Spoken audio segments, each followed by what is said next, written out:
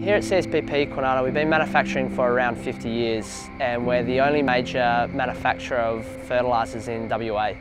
Over those years, obviously the process has been improved, the products have changed drastically and our storage requirements and customer requirements have been met through our evolving plant operations and ever-changing processes.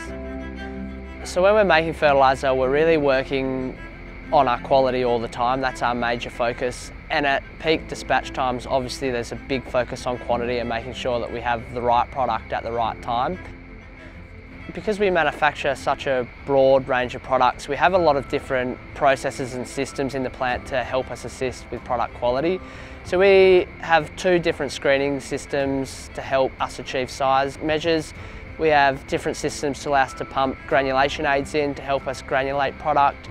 We have different raw materials and different formulations that we can make modifications to to help achieve hardnesses and sizing. And because we have such a large wax supply as well, we can coat at different rates and we can coat different products as well. So with imported fertiliser, what arrives off the boat is what you end up receiving and there's not a lot you can do about it.